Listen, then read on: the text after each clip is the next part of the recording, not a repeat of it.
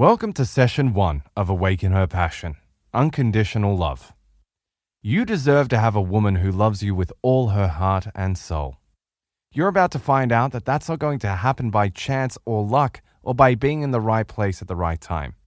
It's going to happen because you are about to learn what it is she wants from you, how different her needs are from yours, and how you can live a life that's more meaningful and fulfilling than you ever dreamed possible.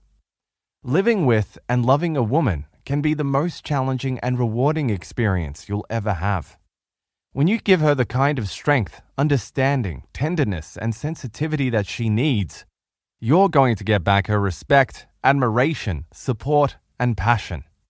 There is nothing that equals the deep sense of satisfaction when a woman is at your side, giving you a sense of worth, sharing in your successes, helping you through your failures, and confirming your manhood. I want you to have the ultimate payoff a woman who worships the ground you walk on and who would do anything to make you happy.